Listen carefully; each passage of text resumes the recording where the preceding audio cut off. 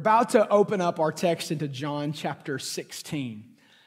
And as we continue on this, it's going to be pretty uh, fun to work through these things. And we've been working through the book of John in this series called The Gospel of Jesus. And so if you're new with us today, you're coming in on chapter 16 of the Gospel of Jesus. And for context, Jesus is with his disciples. Uh, we have 11 disciples left because Judas has just left the uh, uh, brigade of disciples to go and betray Jesus. We just had the Last Supper. So if you've seen the famous painting of the Last Supper, we just experienced all that back in John 13, 14, 15. And now we come to John 16 after he has said many things and washed their feet, and he's getting ready in the last 24 hours of his life to go to the cross. I love certain public settings. Who's ever been to a giant football game? You love it, okay? so fun. Many of you have been downtown uh, Columbia for one of the big uh, football games. It's awesome, it's loud, and it's amazing, and it's so fun. And I love hearing people's stories about what the energy was and how it was at the game. Uh, I went to the national championship game. Um, when it came to Santa Clara, California, because I'm an Alabama fan, and Alabama was playing the uh, very terrible team named Clemson, and uh, yeah. Rule number one don't offend half the audience before we, we get into the message. Oh, well. And uh, it doesn't matter, you won the game, so I mean, joke's on me, right? Uh, so, so it was this big public moment of like cheering and shouting and all this. And it was so fun. There was this energy and, and enthusiasm about it. And I remember being like a raving fan of that public moments, huge, awesome moments. They're great. When I talk to people off to the side and I tell me, and I say, tell me one of the most like pivotal moments of your life, I've noticed something. They don't typically talk about the public moments they've experienced. However, they do usually bring up a private, personal moment in a conversation with one other person because personal moments have a difference that public moments just don't have. And when you think about the personal moments and the personal conversations and the phone calls and the coffee shop visits and the car rides and the conversations of words you'll never forget, those are these personal, life changing moments that may have altered the trajectory of your life. And had it not been for that, there wouldn't be other public moments that you experience because you may not have even wound up in those places of publicity with people. Why? Because personal moments have power that public moments just don't have. That's the setting of the text. That personal moments with Jesus have a certain power that public moments just don't have. You will never remember every single worship song this church plays Sunday after Sunday after Sunday after Sunday. No matter how hard we practice, no matter how much we prepare, no matter how good the worship music sounds, no matter what. But let me tell you something there's some people that just got prayer a moment ago and they'll never forget the personal moment they just have. Why? Because Personal moments have power that public moments just don't have. You got to get that in your spirit if you're taking notes. That personal moments have power that public moments just don't have. It's why last week we said you don't have a sin issue, you have a devotion issue. And the more devoted we become, in the private personal moments with Jesus, the more power we have to conquer over things that seem to be weighing us down. And enter in John chapter 16 as Jesus is relaxing, reclining, and chilling with the 11 last disciples. And he says, John 16, verse 5 through 15. But now I am going to him who sent me. None of you asked me, Where are you going? Rather, you are filled with grief because I've said these things. But very truly, I tell you, it is for your good that I am going away. Unless I go away, the advocate will not come to you. But if I go, I will send him to you. And when he comes, he will prove the world to be in the wrong about sin and righteousness and judgment. About sin, because people do not believe in me. About righteousness, because I am going to the Father where you can see me no longer. And about judgment, because the prince of this world now stands condemned. I have much more to say to you, more than you can now bear. But when he, the Spirit of truth, comes, he will guide you into all the truth. He will not speak on his own. He will speak only what he hears, and he will tell you what is yet to come. He will glorify me because it is from me that he will receive what he may, will make known to you. All that belongs to the Father is mine. That is why I said the Spirit will receive from me what he will make known to you. Jesus is saying, I am leaving, I'm going away. And instantly, he says, None of you even asked, Where are you going? Instead, he's seeing the look in their eyes, and the text tells us that they are filled with grief because he had said these things. Filled with grief. Now, you got to get into this context. These are are, are, are these 11 people who have walked with Jesus and they have followed him for three and a half years and they have given up everything for this moment. And in this, all of a sudden, they, they can't predict the future any more than you or I can. All of a sudden, Jesus just lets them know in a little while, I'm going to go away. I'm leaving. I'm making my grand exit. I, I won't be with you any longer. And they're thinking to themselves, like, what? You, you're, you're, you're leaving now? Like, we gave up all of this. And, and, and when the text says that they're filled with grief, this is the heightened point of anxiety inside of their soul because they are experiencing loss and they know that in this relationship, they're processing it logically, going, We're losing our leader.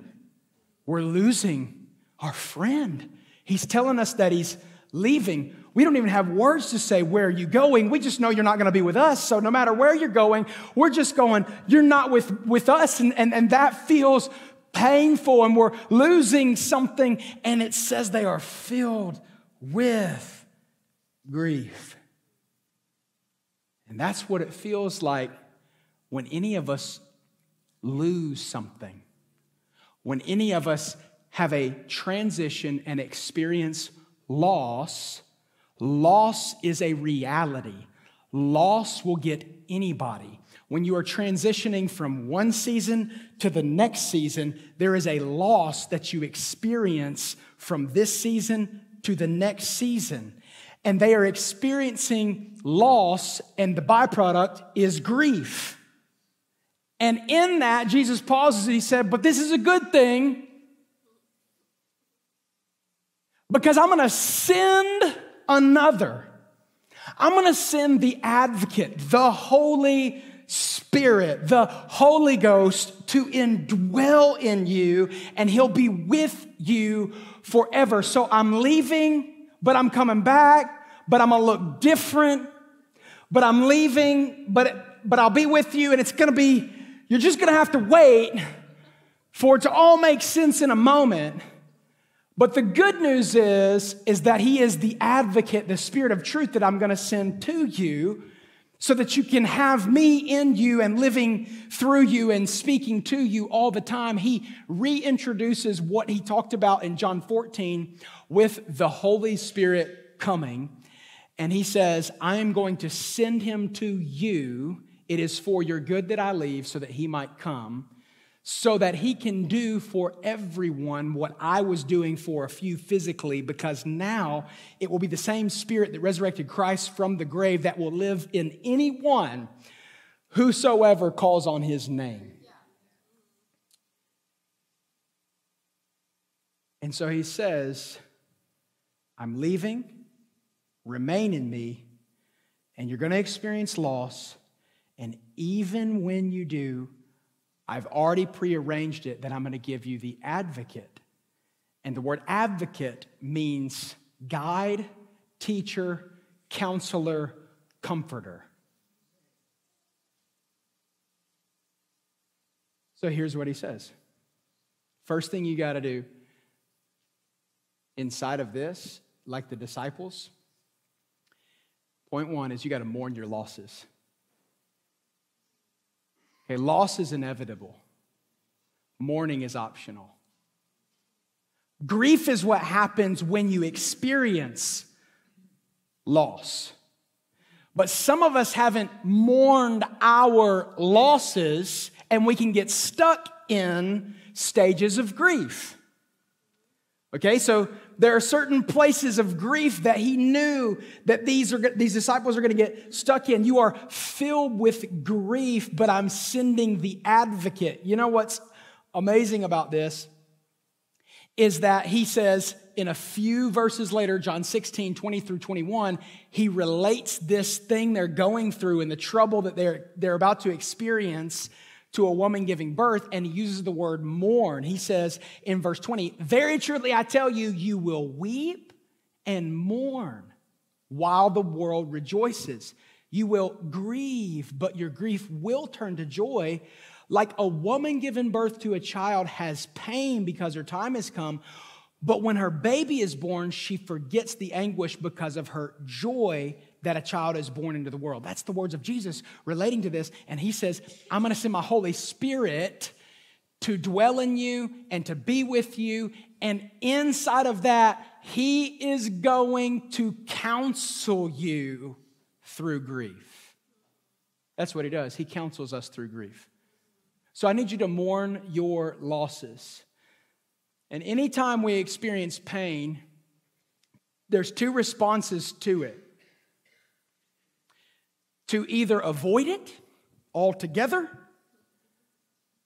which is avoid it and pretend like it never happened and pretend like it doesn't exist, or to ignore it and to at sometimes think about it a little bit and then stuff it back down. And then think about it a little bit and then stuff it back down. And then think about it some more and then be like, no, no, no, I'm not going there. And when we do this, we don't actually mourn our losses. And he is saying that the Holy Spirit is the wonderful counselor. It was prophesied back in the Old Testament that he is our wonderful counselor and that he is the everlasting God and that he is going to counsel us through things. And what a counselor does is they dig out certain parts of our soul that have us stuck in places that God always meant to set us free from. But it is our choice to mourn all the losses we experience. And when you don't do it, you get stuck in a stage that God has the power to see you through. Listen to me. When you don't mourn, you get stuck in a stage that God has the power to see you through. What's funny about the word grief is we've picked up on it in psychology and counseling and all this for so long. Counseling. Counseling, parakletos is what this word is, the Holy Spirit. He is our counselor. Well, counselors said that there's five stages of grief, that there is denial, there's anger, there's bargaining, there's depression, and then there's acceptance. Some of us have not mourned our losses and we're wondering why we are still angry at certain people of the past. Maybe, just maybe, it's because you're stuck in a stage that God wanted to see you through. And the only way to really get through this is to mourn your losses. I was right there. I went to a monastery last year in January of 2023, and I was processing a, a certain friendship that I had lost. And, you know, pain will get everybody, by the way. Like, it's no respecter of people, right? And so I was wanting to process this thing, and I got to meet with um, one of the monks at the monastery. His name's Father Garrick, but I thought it'd be a lot cooler to call him Father G. And uh, I thought it was a little ir- irreverent to try it first because, you know, it's the, the, the monk, right? And so I just said, Can I just, you know, like call you Father G, you know? And I, I thought like I might get slapped up the head, you know, but he just looked at me and he was like, huh, Father G. I like that. And I said, Hey, I said it first. Okay, all right. It's all me, baby, all me. And so I sit with him in this moment, and I'm, I, am just bearing my soul, and I'm, and, I, am talking to him, and, and, and I'm, I'm telling him this story of what happened and where I'm at with it. And I said, I don't know how to get past this, and I seem to, you know, just, just try to you know, move further away from it. And every time I think about it, I, I, either avoid it or I ignore it and I just don't want anything to do with it. And he looks at me and he says, maybe as simple as it sounds, is you haven't let this broken relationship break your heart. Maybe you haven't grieved the relationship yet. And he said, and sometimes the only way to let go of it is to go through it and allow the emotions of a friend to come. And he looked at me, and I'll never forget this phrase. He said, The way out of it is to go further into it.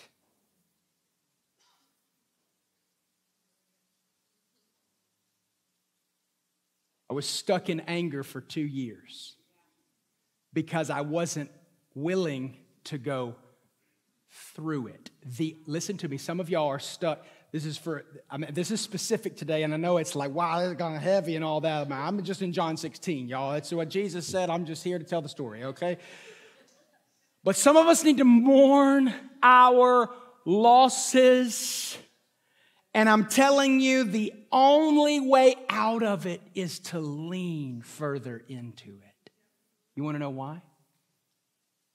Because personal moments have power that public moments just don't have. And I think that's what Jesus was getting at that a counselor's very personal. That mourning your losses is very personal. That going through the process and the stages of letting the emotions come and grieving it and mourning it is very personal. And you don't usually find those type of things in big old public settings. We come to church, God is good all the time. All the time? Oh, yeah, and under the surface, we're like, I ain't going there. Uh-uh. No, Jack. Public moments are fine with me, Pastor. I just, uh, personal stuff. Mm-hmm. Well, chapter 15 was all just remain in me, stay connected to me, be devoted to me. And when you're devoted to me, there's certain things the counselor goes, Hey, I want to press into this because I believe there is freedom for your soul. And if we don't press into this, then you will grow up and you will mature the exact emotion that you're stuck in. And what was once just slight irritation can grow to frustration and can grow to full blown anger. And I didn't intend to leave you that way, but it's your choice if you go further into it. Can you go further into it this week with the Holy Spirit because He counsels you? That that's His job according to Jesus. He says, I'm going, and they're full of grief. They experienced the loss of a friend. He goes, okay, I'm gonna counsel you through that in a minute. We'll get there. We'll get there, and your joy will be made complete. That the world will rejoice while you mourn, but there will be joy that will make you complete. Some of us are not experiencing joy and peace because we are stagnant in a place where we have not mourned the losses. And it's time for you to mourn the losses. Then he says, When he comes, he will prove the world to be in wrong about sin and righteousness and judgment about sin because people don't believe in me. Point two relate to him daily. Relate to him daily. You got to relate to the Holy Spirit daily. It's not just in these rooms and in these places where you experience God. You can get this every day of the week if you relate to Him daily. You don't have to wait till Sunday service. Uh, you, you, you, can get motivational worship on Monday in your car going to work. You can get transformational worship on Tuesday as you are in your house. You can get wild worship on Wednesday. You can get true worship on Thursday. You can get your free worship on Friday. You can get your, your, your, your, sanctified worship on Saturday. And then when you come into the house of the Lord on Sunday, you can simply spew because you've been worshiping Him and relating to Him all week long. And that's the point of coming together because why? Personal moments have power that public moments just don't have. But I want you to see what he says that the Holy Spirit's role is. Holy Spirit's role as the advocate is to counsel us, which we've already talked about, to help mourn and grieve and be there for the comfort that he is to provide. But then it says that he'll talk to the world, and in it, he will, he will prove the world to be in wrong about sin. Now, he doesn't say sins. This is a singular word about sin because people do not believe in me. That the original, according to what I'm reading in verse 9, the original sin that God wants to deal with with every single person is believing in him. He says that about sin, people don't believe in me. And so, what does the Holy Spirit do? He comes to convict us of sin. And when we relate to Him daily, He is convicting us more and more in a very good way towards being more like Christ. When we remain in Him, and he prunes everything that ought not belong, then we let the word of God cut us. Let it cut. Let it take certain things off. Let it prune down the bush. Let it, let it come unto our attitudes and our characteristics and the sin that ought not be there. And listen to me, we'd be like, well, why would he convict? That sounds so heavy, you know? We ought not experience the emotion of guilt unless you're the one who's guilty.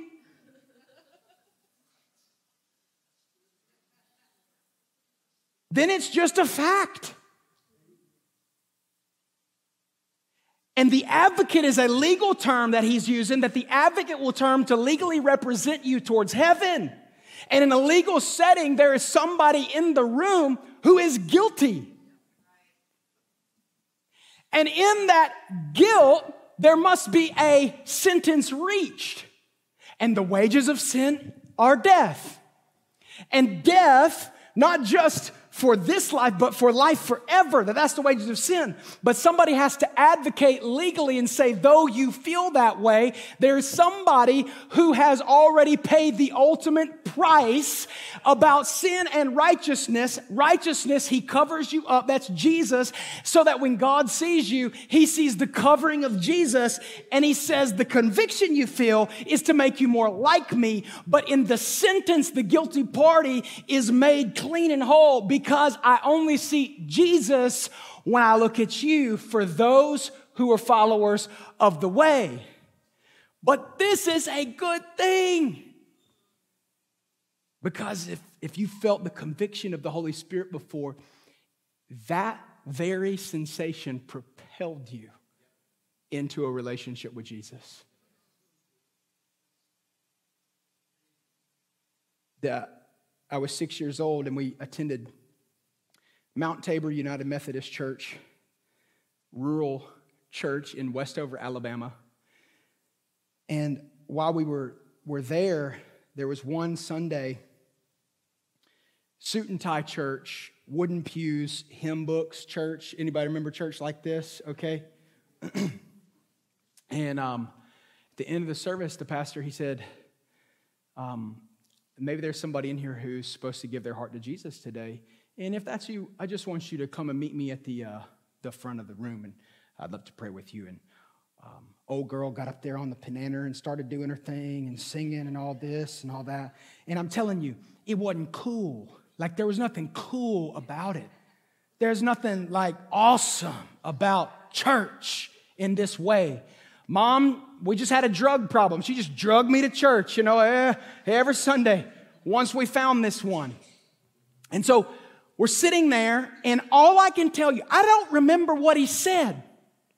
I don't remember the, the songs we sang. I don't remember three points, five pillars, and seven ways on how to worship God. What I do remember is the advocate showed up. And when the advocate showed up, he convicted a six year old boy who had no theological training in seminary and Bible school. And all of a sudden, I felt my heart start to pitter patter, best I could explain it as a six year old. And I felt this thing of like, he's talking to me. That the sin I feel is like, I got to get out of this. And I didn't even really know what all that meant. I just knew God is drawing me in and His Spirit is at work on my soul. And without anyone saying, Would you like to go up there? No one's moving around. And me at six years old, it was like somebody had strings on my feet. And it was like all of a sudden I just was a marionette puppet and I got up and I started walking to the front of this altar, little six year old kid. And I met Brother Johnny down at the front. And I said, That thing you're talking about, I don't even really know. I just know I want it. And he said, That's the conviction of sin. That's the Holy Spirit. And I said, Well, I want him. And I want to be, whatever this is, Jesus follower. And he said, Let's pray. And so we started to pray. We prayed right there at that altar. And I invited Jesus into my heart. Now, I wasn't perfect the rest of my life by no means at all. I just know that that was the day that I felt the conviction of what that was, and I began believing in Jesus as my Lord and Savior. I'll never forget it. You want to know why? Because personal moments have power that public moments just don't have. And I know that you won't remember every sermon I preach, but you also don't remember every meal that you ever eaten. All you knew was the meal that you ate provided the sustenance you needed to get you through to the next meal. And that's what church is often like. I just know I'm providing enough sustenance to get you through to the next meal. But feeding yourself is your job. So you got to relate to Him daily. And for some of us, He convicts us of that, and that's a good thing. We have to have that.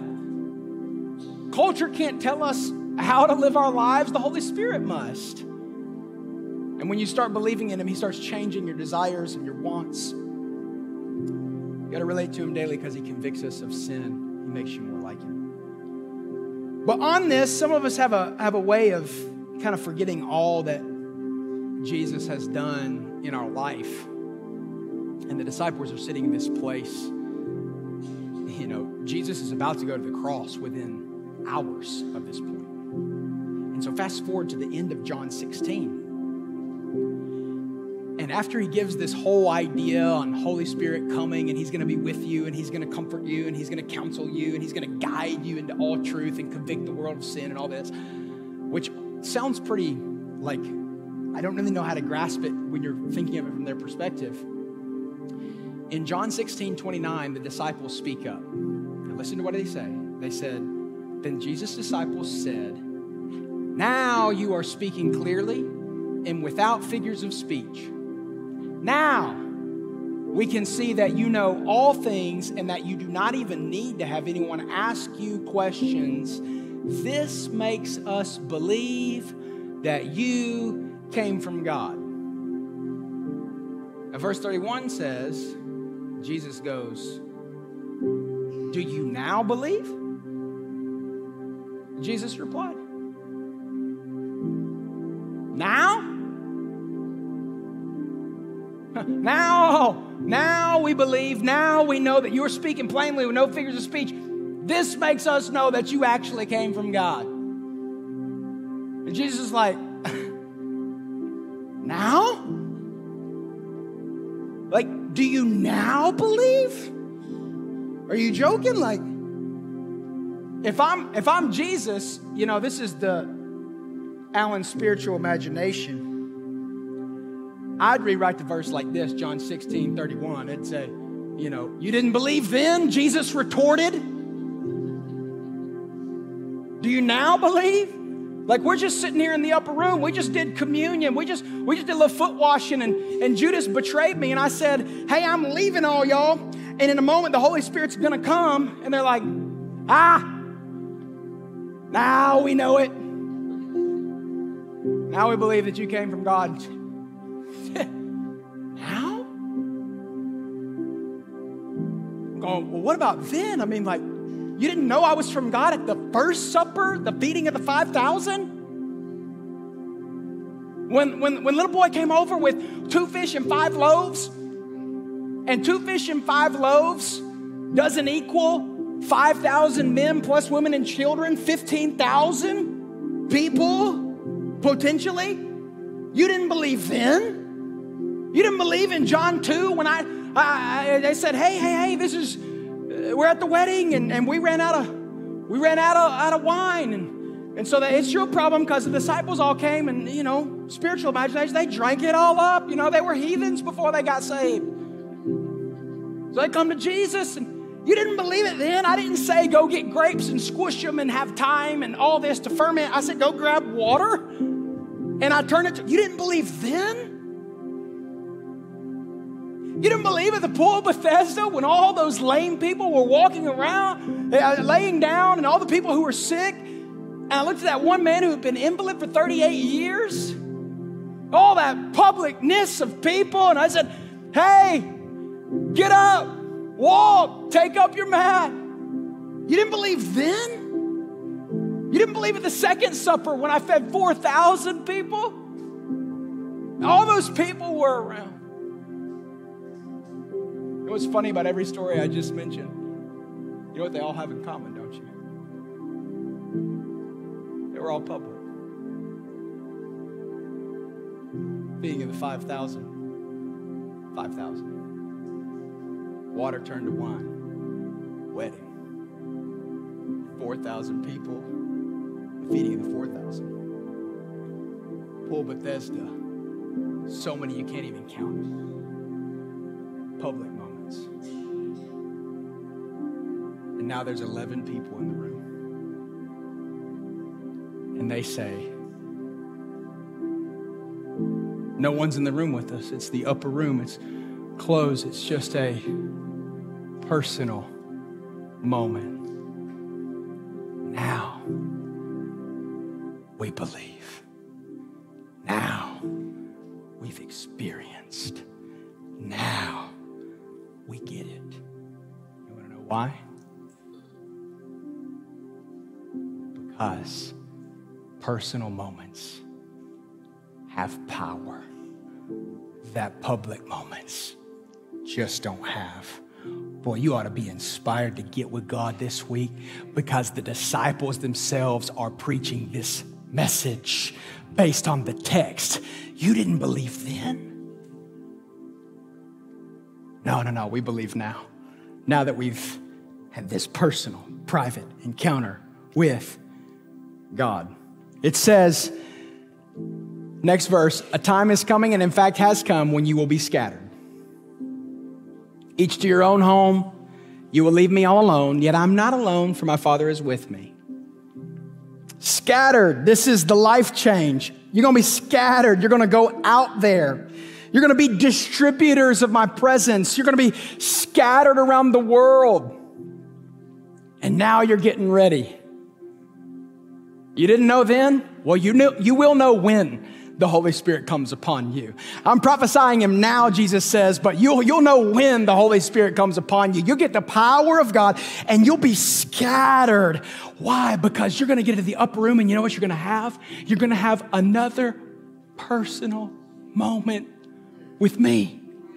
And you'll know when it's time because the Holy Spirit's gonna come upon you and you'll be clothed with power from on high.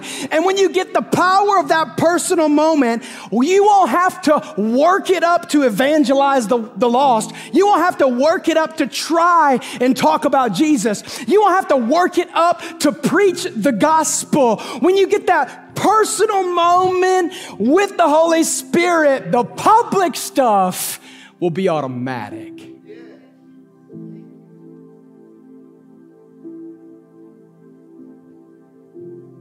I close with this. If you'll stand, I don't have time to get to the rest of the content, so I'm going to shut her down. You got to have private moments with Jesus because private moments with Jesus are private moments with the Holy Spirit. And the Holy Spirit hears from Jesus everything that he wants to say to you.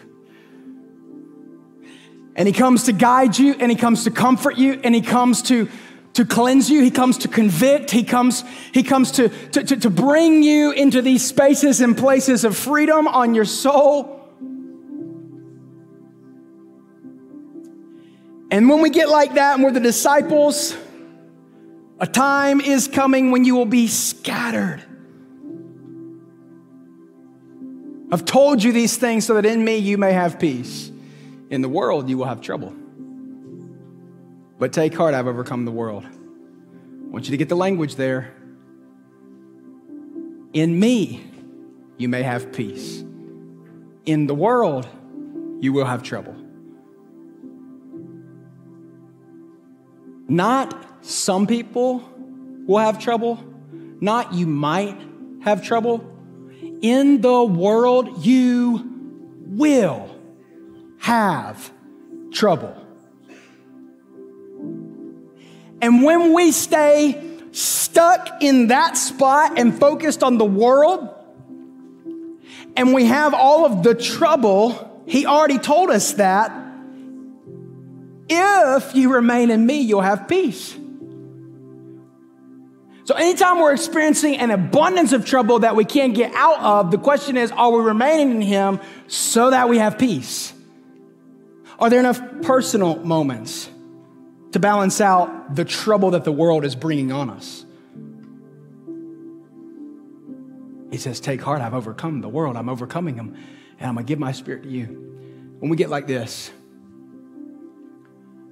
we're scattered to, to have these moments and then to continually distribute them. Listen to me, we're not manufacturers. We're not, I didn't make all this up. I'm just a delivery boy. I, we don't manufacture anything. We're not in the manufacturing business, we're in the distributing business. And as you have personal moments with Jesus, He drops something in your heart, and then He scatters us all over Lexington County in the Midlands, and He put a deposit in you so that you can distribute it.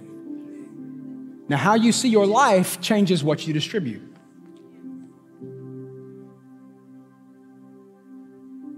There's a man who visited a construction site, and there was a group of stonemasons. And this group of stonemasons were all working on stone, and they were doing the exact same task. And he walked up to one man and he said, What are you doing? And he said, I'm chipping stone. Okay. Next guy looked at him doing the same task as the first guy. He said, What are you doing? And he said, Oh, well, I'm uh, working on this wall. I said, Okay. He looked at the third man and he said, What are you doing? And he looked back at him and he said, Oh, I'm building a cathedral. How you see the world around you after you've spent time with Jesus, it will change. And some of you think that you're just chipping away at stone, and God says, No, no, no, no. We are building God's kingdom, and everywhere you go, I'm using you as a mason to build the kingdom of God. You're building a cathedral in that workplace. You're, you're building a cathedral in that marriage. You're, you're building a cathedral in that family. And as you build it, you are a distributor of God's presence but you cannot give what you have not received. And so you first just have to receive from the Lord and say, okay, I need a personal moment with you before I go public. Why? Because personal moments have power that public moments just don't have. Every head bowed, eye closed. Let me pray for you. If you're here in this room and you want to give your heart to Jesus today, this is a personal moment for you in this auditorium, right there at your seat. If you were to die right now, you have no idea if you would go to heaven. You don't know if you're in right relationship with Jesus. Like me, you're, you're sitting in this church and you're going, well, I don't know why, but the conviction of sin, the pitter patter of my heart is beginning. I want to know him. I want to know him. I want to know him. I want to know him. I can't explain it. I just want to know him. I want to be close to him. God ordained this moment for you to come into right, right relationship with Him. If that's you, I want to know who I'm praying for. A prayer of salvation and repentance that we are all destined for a place without God unless we of our free will give ourselves unto Him. That Jesus came and died as the perfect sacrifice for our sin. And when we come into right relationship with Him, He gives us an eternal home in heaven. If that's you, you want to get your heart right with Jesus today because it's time for you to say yes to Him. I want you to shoot your hand up on the count of three. One, you know who you are. Two, just you and me. Three, if that's you, would you raise your hand? Thank you. Thank you. Thank you. Thank you. Keep your hand up. Thank you. Thank you. Yep, keep your hand up for me. Thank you. Thank you. Let's pray this prayer of salvation and repentance as one big family right here. Dear Jesus, I give you my life. Remove my sin. Cover me with righteousness. Fill me with your Holy Spirit. And tell me what to do, Lord. I give my life to you. I am a follower of Jesus. I have decided to follow you no turning back. God, I receive your grace and I'm following you now. In the mighty name of Jesus, we said amen. Amen. Thanks for watching. Head over to vividchurch.com so that you can stay updated with all things Vivid Church. Join us in person or online for one of the services so that you can be a part of our Vivid Church family. But don't stop there. Please share this video so that we can help other people live the vivid story that God has for them. Thank you.